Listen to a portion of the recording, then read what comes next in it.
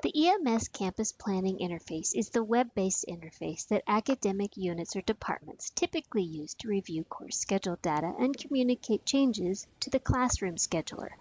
In this video, I will show you how academic departments use the Campus Planning Interface in Define and Edit mode.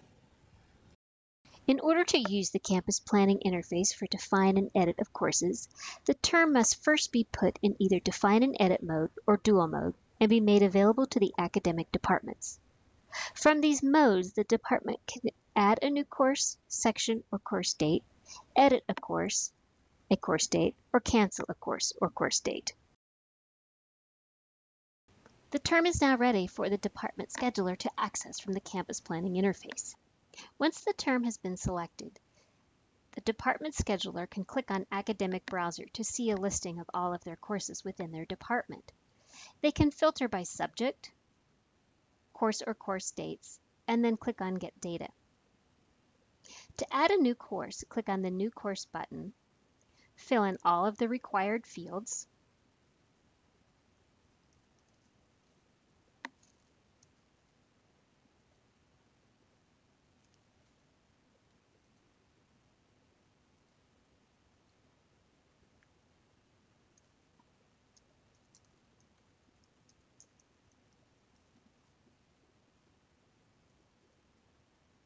add the course type,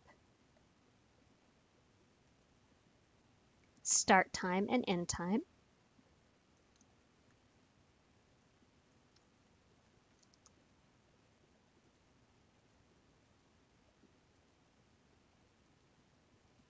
and click on Save.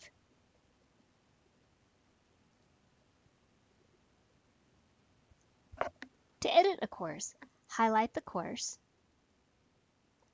open the record, and edit the course details. In this example, I will change the estimated enrollment.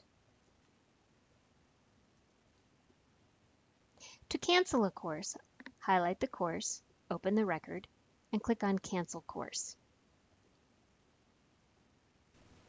To edit course dates, open the course and click on the icon under Actions.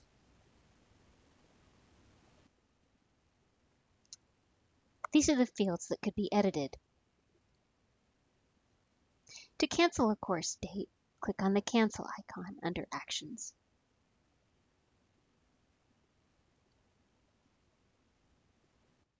In order for the classroom schedule to see all changes that have been made from the campus planning interface, they must run the report from the desktop client.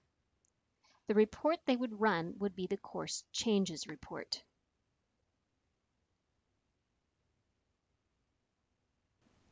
The classroom scheduler will then take these changes and input them into the SIS. The campus planning interface is a great tool to use to gather and consolidate course information.